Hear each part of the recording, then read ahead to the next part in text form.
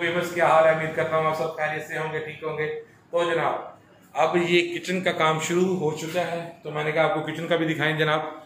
ये किचन का जो है सिंगल कोट इसे कहते हैं ना जो ये लग चुका है। इसकी जो वो फिलिंग्स थी, जहाँ पे कोई सुराख वगैरह थे, मरम्मत होने वाली थी, वो हो चुकी है। और ये छत वगैरह जो थी, ये प्लस्तर करवानी थी, ये प्लस्तर हो चुकी हैं, ठीक है? तो इसके ऊपर ये अस्तर का कोड होता है जो ना पहले पतला सा लगाती हैं, ये वो वाला लग चुका है, ठीक है? तो ये सारा सामान इधर पड़ा हुआ है, ठीक है? ये ऑयल पेंट लग रहा है ऑयल ठीक है? ये आप देख सकते हैं, ये देख लें ये पेंट है ना जो डुलक्स का है, ठीक है? ये डुलक्स का है, ठीक है? और ये देखें हमारे जो कारी साहब ओ कारी साहब नहीं सॉरी कारीगर साहब ठीक है? मैंने पहले कारी साहब बोल दिया जो पेंट वर्क करने वाले हैं जो वो अस्सलाम वालेकुम भाईजान। क्या हाल है आपका?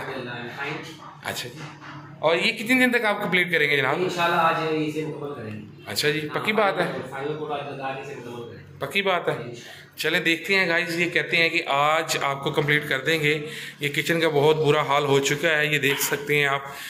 अब जब इसे पेंट होगा तो उसके बाद इसको क्लीन किया जाएगा ताकि जब ये साफ़ हो जाएगा तो फिर पता चलेगा।